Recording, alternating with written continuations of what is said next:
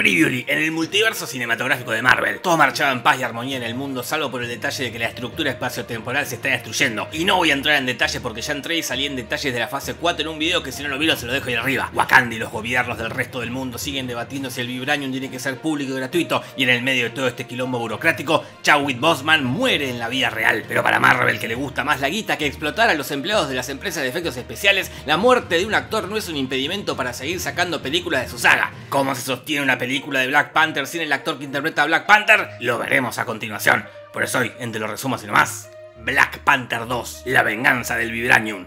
Bueno, entramos en la historia y a disfrutarla. Mm, ahí estamos. Black Panther, el personaje, está al borde de la muerte. Para salvarlo, su hermana Yuri toca unas cosas, dicen un número random. 25%. Yuri hace girar otro coso y dicen otro número random. 29.1. Intentan curarlo, pero es tarde.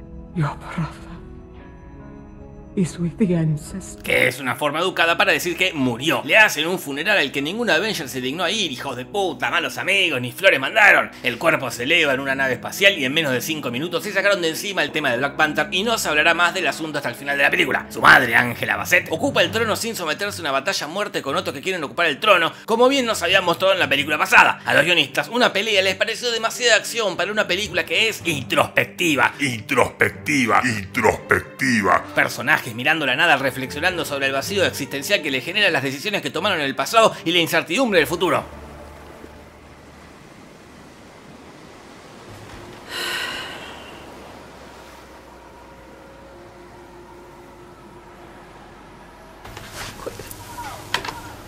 Por otro lado, Yuri se encargó de trabajar en los avances tecnológicos de Wakanda anteponiéndose a su madre que quiere que experimente con medicinas alternativas a lo que Yuri se niega porque cree que la ciencia es lo que va a salvar al mundo. A diferencia de la actriz que la interpreta que durante la pandemia se mostró antivacunas y anticambio climático. Afortunadamente, estos temas no tienen nada que ver con la película. La película trata de ellos, de los bocetos que hizo Jane Cameron para Avatar. Unos seres con un canto hipnótico de sirena, con animales acuáticos entrenados como si fuesen empleados de mundo marino y que son inmunes a las balas solo si estas impactan contra la pequeñísima armadura que llevan encima, porque si le pegan en el cuerpo, ahí sí que se mueren. Ellos están liderados por un tipo que se llama Namor. ¿Quieren conocer la historia de Namor? Bueno. Se las cuento. Muchos, pero muchos años atrás, sus ancestros vivían en alguna selva latinoamericana hasta que un día cayeron los españoles a colonizar todo. Estos muchachos creyeron que la mejor forma de sobrevivir a esto era consumiendo una misteriosa planta que crece en las profundidades del mar y convertirse así en seres azules capaces de poder respirar abajo del agua y de resistir la presión de estar bajo litros y litros de la misma. Todo parecía un ritual de suicidio en masa, pero efectivamente el chamán tenía razón y así empezaron su nueva vida en las profundidades del mar. Namor es el primero en ser un nativo nativo del mar y saltándose varios casilleros en el tablero evolutivo de la vida, nace con aletas en los pies y orejas puntiagudas y obvio, poderes sobrenaturales. Logra vengarse de los españoles y por un juego de palabras en español consigue su nombre. El niño sin amor. Namor. En el océano armaron una comunidad ultra escondida y ultra secreta que la humanidad jamás pudo encontrar gracias a la única respuesta que tienen todos los guionistas de Marvel cuando no pueden explicar algo. Vibranium. Vibranium. Vibranium. Vibranium. Vibranium. Vibranium. Bueno. Los yankees se enteraron que tienen Vibranium y se lo quieren robar. Namor está recaliente, imagínate, le quieren afanar el Vibranium, entonces quiere venganza. Y eso, chicos, es la historia de Namor y sus amigos.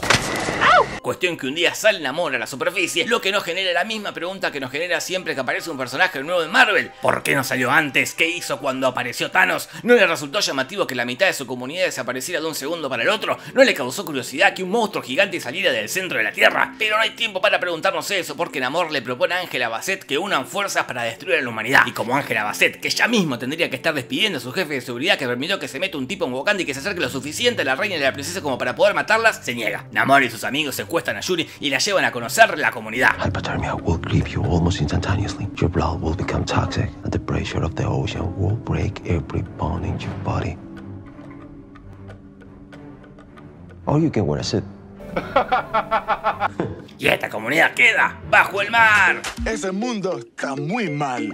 La vida bajo el mar es mucho mejor que el mundo de allá arriba.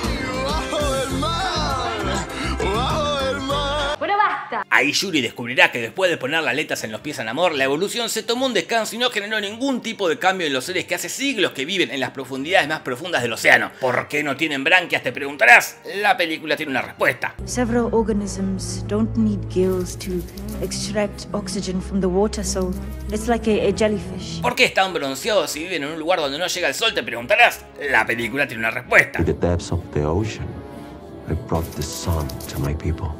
Pero hay varias preguntas sin respuestas, ¿cómo? ¿Por qué pueden hablar abajo del mar y escuchar abajo del mar? ¿Por qué se saludan tirando un kamehameha? ¿Por qué armaron una comunidad gigantesca pero en amor le dieron un despacho de 2x2 que ni televisor tiene? ¿Cuáles son las reglas de este fulbito oceánico? Todas estas preguntas jamás, pero jamás encontrarán respuesta, ¿está claro? Ok, polilla.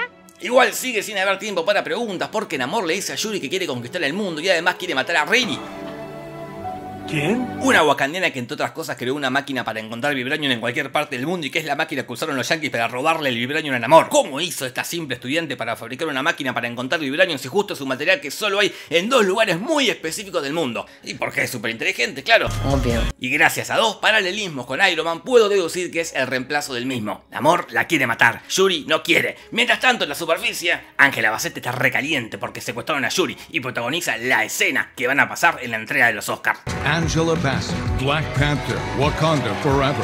I stood by you after Killmonger took the throne, and you and the others in this room stood by him while I ran begging to the Jabari for protection. Después de eso, la despide a Millón y ella, sabiendo que no la van a indemnizar, le rompe el contrapiso que hicieron en la última remodelación del reino. La concha de la lora. Y ahí Ángela se va a Haití a buscar a Lupita, que mujer neón, que está trabajando en la docencia pero aprovecha las vacaciones de invierno para hacerle un favor a Ángela, rescatar a Yuri. ¿Y te acordás que la comunidad de amor estaba ultra escondida y ultra secreta y que la humanidad jamás la pudo encontrar? Bueno, Lupita llega caminando, agarra a Yuri y a Siri y elipsis, ya está en la casa. Namor no tendrá televisor, pero pudo ver el padrino para descubrir que si el líder sensato y sabio no quiere colaborar con los negocios turbios, lo mejor es matarlo para que su descendiente, impulsivo y inexperto, tome su lugar y así aceptar el trato. Entonces la mata a Ángela Bassett.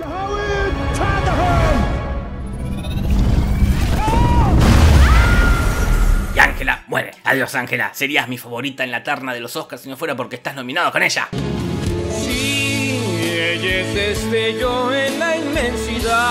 Terminala, por favor. eh. Wakanda quedó completamente inundada, pero tranca palanca porque escena siguiente está como si nada gracias a que la piba de I May Destroy You pasó el secador de piso por todo el reino. Yuri hace el ritual ese de tomar ayahuasca para tener un viaje astral para reencontrarse con los antepasados y tener así una respuesta a todos los problemas de la vida. Y como todavía es muy pronto para revivir digitalmente a Chadwick Boseman, pero acordate que en cinco películas ya lo van a hacer, llamaron al otro actor más famoso de la saga, Michael K. Hombre B. Jordan. Ahí le dice que tiene que ser Black Panther y cuando se despierta, ¡pumba! Tiene poderes.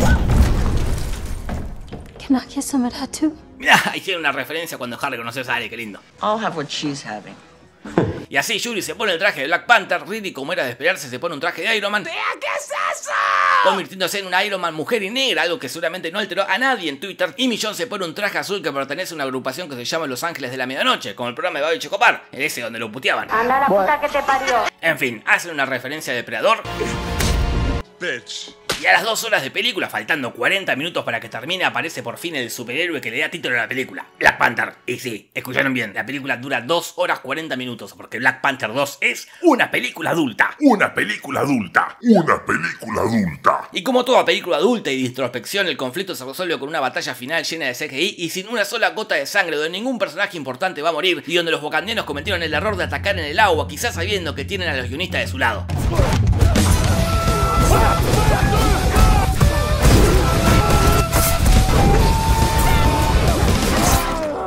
Namor mata a Yuri. Hecho mierda, elige darle la espalda en vez de rematarle lo que le da la oportunidad a Yuri de sacarse la lanza porque cagate de risa. Yuri no está muerta, todo lo contrario, está viva, viva, puesta y dispuesta para prender fuego a Namor y finalmente matarlo. Pero ahí se le aparece el espíritu de Ángela Bassett a darle un consejo, el lema de todo el universo de Marvel. La venganza nunca es buena.